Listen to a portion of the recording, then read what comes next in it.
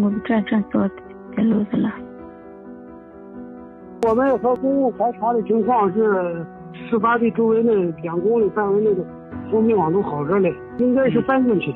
这边有网子，有那个攀爬的踩踏，下边的草踩踏，还有攀爬的这个网子搬动的痕迹嘞。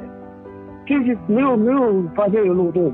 再一个，把周围呃事发地周围的前后左右的监控都调了。从幼儿园旁边往前走个有个七八百米左右吧。他办公室后门后面有个小门，这小孩子从那偷着跑出去的。